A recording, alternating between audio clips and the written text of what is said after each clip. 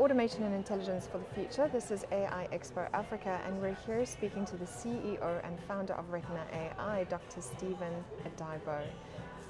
Dr. Odaibo, the, the presentation this morning was so exciting. Can you just bring us up to speed with our, our viewers on, on YouTube?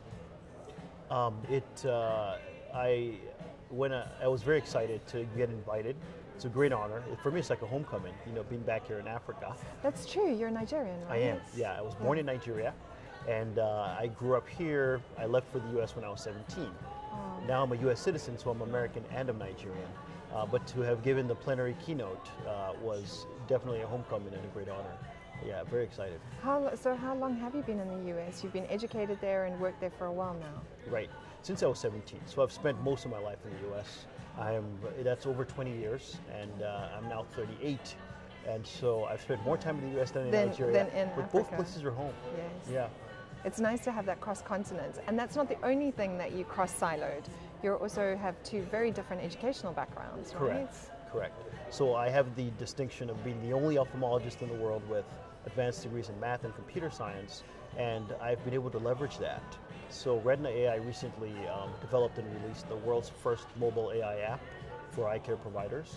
And basically you take a picture with the mobile app of a scan of the retina that immediately goes into the cloud, computes with machine learning, and returns an answer as to whether that patient has uh, fluid in or under the retina or not.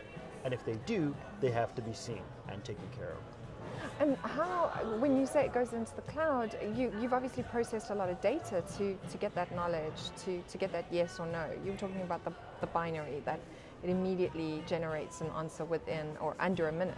Correct, correct. So we have to train the algorithm with a lot of data that's labeled, and after that's trained, we did that, we then went ahead and put that in the cloud and then wire that up to a mobile device. And the success rate's really high. Success rate's really high.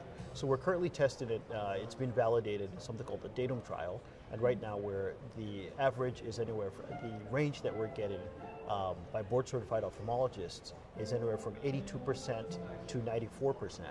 And uh, we're confident that we can continue to increase that because the beauty of machine learning is that it continues to get better with the more exposure that it has to data. The more data it has. Right. And why Retina AI? Why would you start the company? Um, is it really difficult for people to, to diagnose this, these diseases or? Access to care is a big issue. Okay. So in the United States, there are less than 3,000 um, ophthalmologists. Um, there are less than 3,000 retina specialists, such as myself. So even in the US, there's a big problem of care access. For instance, I lived in a town called Dubuque. Uh, it's at the corner of Illinois, Wisconsin, and Iowa. And within a 40 mile radius, I was the only um, retina specialist living there. Now, when you come to Africa, it's an even bigger problem. Like my home country of Nigeria, for instance, has probably less retina specialists than I can count on one hand. So I'm really driven and passionate about making a difference here. You know, as a follower of Christ, which is central to my identity, as well as being an African, I feel a sense of obligation to make a big difference here. And my company has an enormous opportunity to do that. We are we are ahead of the pack. We've put out the world's first mobile AI app for this, and we know this is going to become a space. We know we've pioneered something that's going to become real, um, and our true heart is for people to get access, and we're going to run with the momentum that we've built. That's amazing. And you did mention that you are looking for funding, or that you are in your first round. We are. We are currently yes. We are open for capital at this time. We are in conversations with a number of venture capitalists, uh, as well as angels, as well as just potentially awesome partners. A lot of great people. There's a lot of alignment that we're starting to see. Um, the vision and the passion that we have for doing this, and more, very importantly, the fact that we've executed. There's been a lot of talk about AI. AI has gotten enormous amount of media coverage and attention, but there's, there are actually few people that have actually delivered a product in AI that's on the market. Our product is called Fluid Intelligence, and it's available for download on the App Store.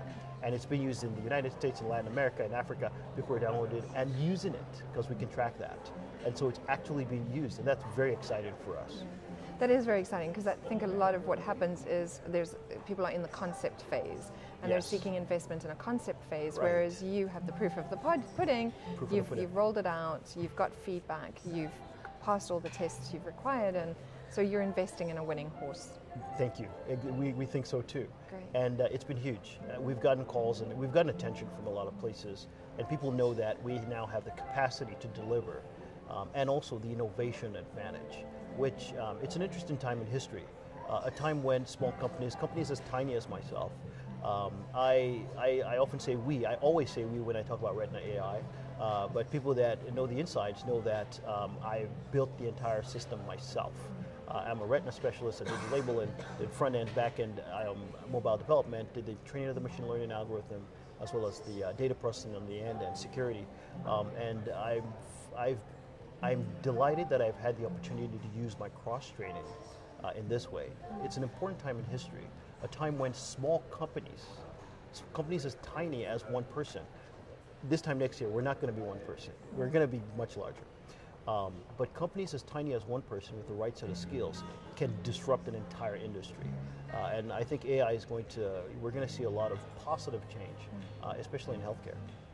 Yeah, I think that's the most beautiful thing about this time right now is that you're right. One person can really change and ripple effect over the entire world. And I'm looking forward to watching Retina AI do just that. Thank you for spending time with us, and we hopefully will see you again next year. Thank you, Chantal.